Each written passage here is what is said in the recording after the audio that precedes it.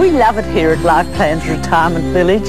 You just couldn't wish for a better place to live. The financial planners at Lifeplan turned what little money I had into quite a tidy sum.